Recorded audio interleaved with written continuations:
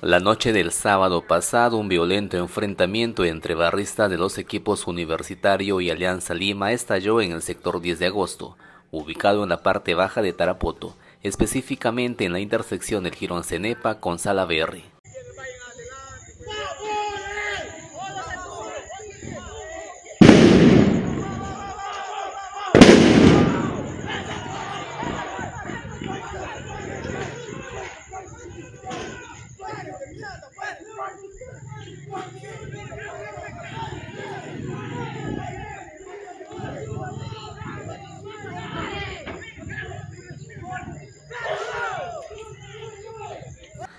Las calles se convirtieron en campo de batalla mientras los pandilleros se enfrentaban, utilizando piedras y armas de fuego, incluyendo perdigoneras cuyos disparos resonaban en la oscuridad.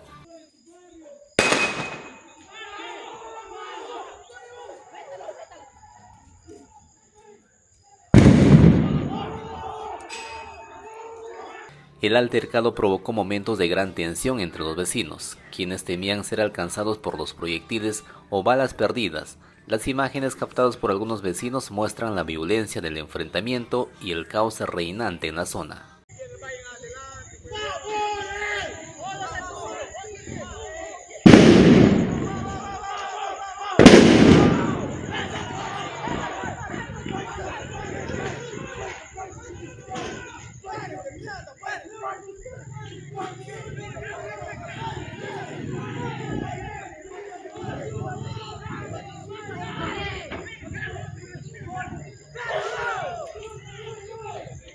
Ante esta situación, los habitantes del sector exigen una mayor presencia policial y medidas efectivas para erradicar estos tipos de episodios que ponen en peligro la seguridad y tranquilidad del vecindario.